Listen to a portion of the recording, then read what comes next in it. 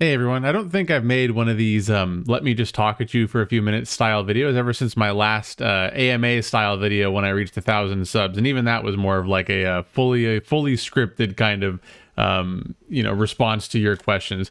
So I wanted to talk a little bit about what's going to come next in the channel because now that Bayesic Training for 150cc is done, um, you know, I think it's I think it's a fair question as to what I want to do next, and I kind of want to just let um, let the people that have been kind of hanging around for a while and have been asking me for specific types of content, um, you know, know what's going on. So first things first, I am going to be getting my track ranking video done. Uh, it, it's going to take a long time because I'm writing the script. I have to do the recording, the editing, and all that for 96 different tracks. It will take a while while. I am working on it. I'm about 30% of the way done with the script for that one, so uh, it will be coming soon, I promise. So before we get into kind of what's coming next on the channel, I do have a little bit of an announcement, which is that uh, I mentioned a few weeks ago that I'm going to be doing live streams uh, every Wednesday from, you know, 9 a.m. to 3 p.m., uh, 9 a.m. to 3 p.m. Pacific.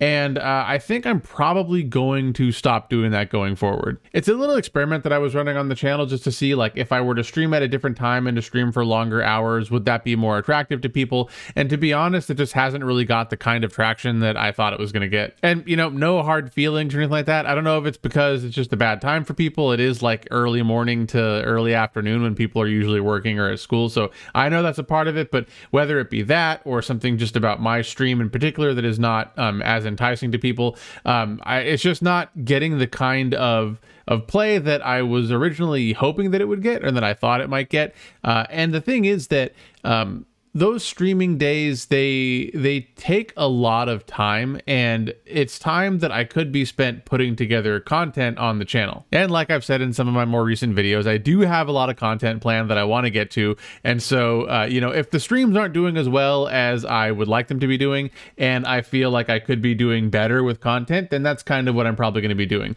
I will still be doing my my weekly, like my weekend streams, you know, my Friday night, Saturday night streams. Um, but I'm going to go back to doing things the way they were before, where a little bit of speedrunning and mostly races with viewers, um, just because it's something I want to treat as more of like a hobby, more of a fun thing, an extra thing for people who really enjoy kind of hanging out, uh, as as opposed to making that kind of like a mainstay of the channel and being like a, a main draw of people coming here. Now, uh, we can talk about what's actually coming next, um, or in this case, more specifically, what's not coming next. So, Bayesic Training 200cc. Um, I've been asked by a lot of people whether I'm going to be getting to that content um, anytime soon, and the short answer is no. Um, slightly longer answer is probably not ever.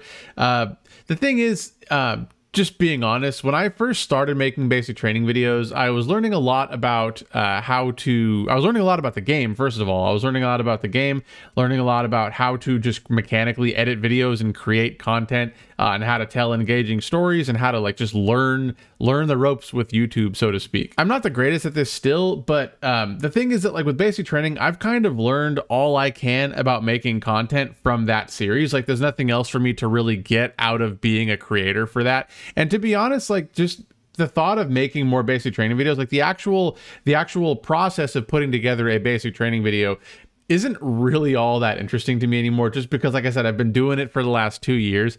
And the other thing is that like those videos tend not to even do very well on the channel in comparison to some of the other stuff that, that i put out there. It might be kind of a surprise because i think like if you google my name for example um, the thing that will pop up is Bayesic Training right? Like i am known for Bayesic Training. But if you look at like how the average Bayesic Training video does in comparison to something like my hot takes video or my collaboration with gyarados uh, it gets like maybe half of the views, um, if that, if I'm lucky. And not only that, but 200cc gets about half the views of a 150cc video.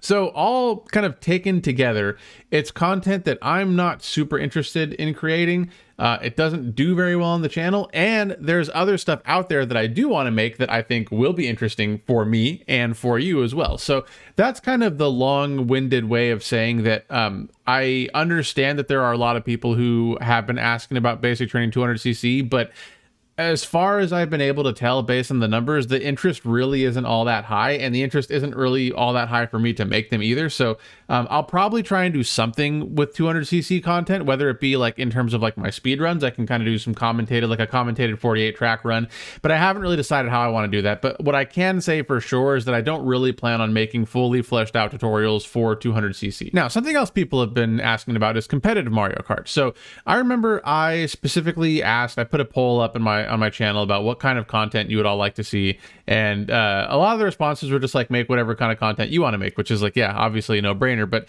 if I can get ideas from you all, then that would be cool too. And one person said that they think that doing competitive Mario Kart is kind of where all of the the sort of the the market is for that for for Mario Kart content, right? If you think about what um, what's on JP Giviner's channels or Shortcats videos, a lot of that is basically just gameplay videos, um, you know, commentated gameplay videos, and people have been asking me to do the same kind of thing. To be quite honest with you all, I really don't want to turn my channel into a clone of someone else's channel, even if it's like, oh look, it's a JP Giviner video, but it's just like Bayesic doing the commentary instead. I really don't want to do that. That being said, though, you know, if you think back fact, there are some videos on my channel where I do have commentated races, and I would like to do something like that for competitive Mario Kart. So maybe getting into lounge and actually trying to explain my thought process and explain what's going on. Um, if you were tuned into my live stream a couple weeks ago, there was a race on DK Jungle where I was kind of explaining the thought process behind why I used a lightning in a particular way. And I think things like that are really interesting because I, I my main thing, people people know me for Bayesic Training, but in reality, what I'm known for is teaching people how to get better at the game, right? I'm really, I'm really hardcore into the teaching, right? Even my my best build videos, it's all about thinking, you know, how to think about the game and how to think about what makes a good build. And I want to kind of bring that mindset into the competitive scene. So I don't know if or when I will get to those videos or like how much of that kind of content I'll make. But the thing that I do that I can say again is that if I do get into competitive Mario Kart, I'm going to approach it from a much more like educational perspective even if it's things like teaching you like why I think something went wrong because like Lord knows I am not I am not that good at this game when it comes to like the people that are actually really into competitive Mario Kart but I think that I do understand a lot like I understand a lot of the theory behind what I'm supposed to be doing and I can explain that to you all in a in a you know an educational video. So that's something that I'm planning on doing for competitive. Now, as far as the other type of content that I want to create on the channel, um, there's not really like a theme. Um, some of it's educational, some of it's just entertaining. Like I have like tier lists that I have planned. Um, I have what else? So tier lists, video essays, um, other just really weird random ideas that it's like this could only come out of my brain sort of videos. And I think all the stuff that I want to work on is actually really interesting, both from an actual content creation perspective, like the actual mechanical aspects of creating a video, and also with like how to tell a good story. And I think that you'll all be interested uh, interested in that content as well. So you know, I really um, am looking forward to creating that content, and I wish I could give more details about it, but I, I want to kind of keep it uh, as much of a surprise as I can until the actual videos drop. So I guess the theme of these videos is that I want to use them to take the channel in a more entertaining and diverse direction. Uh, the thing is, there's a risk there. Um, like I said, the way the YouTube algorithm works is that it will first show my videos to my regular viewers, and if they don't click on it, then it'll just stop showing it altogether. And the types of videos that I plan on putting out um, are fairly different in style from the types of videos that have come out so far. So if you think about basically everything that's been on my channel, whether it be my my tutorials, my motion glider video, my coin video, it's all very, very deep divey in nature and geared towards teaching people how to get better at the game. The kind of content that I want to make is um, it's it's it's a wide variety of topics that I want to work on, and I think that they have the potential to reach a broader audience. But there's also a risk that if the people that are normally interested in my content don't click on those videos, that YouTube just buries them and all that effort goes to waste. So if you see me drop a new video, um, I would and and you enjoy it. Uh, you know, I'm not uh, not trying to harass you all here, but if you see a video and you enjoy it, uh, you find it entertaining, helpful, informative, whatever, um, whatever the case may be, uh, I would really really appreciate if you could actually you know watch all the way through uh, click the like button, drop a comment. All that stuff helps the video get pushed out in the algorithm. And I think that I have the potential to take the I have the potential to take the channel in a uh, in a pretty interesting and uh, and entertaining direction. And so any help I can get from you on that would be very much appreciated. Because here's the thing. Um, you know, I put a ton of effort into all my videos, and that's going to continue to be the case for everything that I put out on the channel going forward. Uh, but I work full time. I've got kids. Uh, I have other hobbies. I have things I want to just do in my spare time. Uh, you know, and there's not a lot of spare time I have in the first place. And you know, I am totally willing to take some of that time and or take a large chunk of that time and create content with it.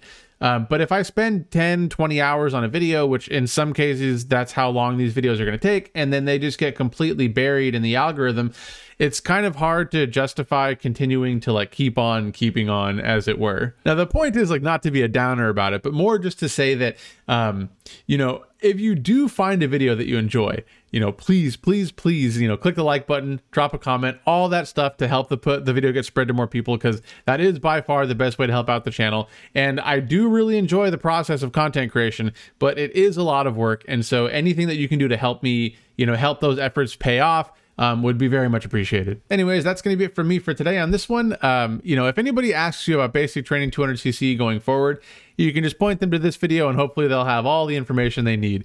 Um, I hope that you're all excited to watch the rest of the content that's going to be coming out on my channel as much as I am to be creating it in the first place. So I hope you're all looking forward to it and thank you all very much for watching this video. And if you have any questions about anything I've talked about um, or any comments or anything like that that you would like me to address, uh, feel free to drop them in the comment section below and I will do my best to respond. But other than that, thanks for watching and I will catch you all in the next video.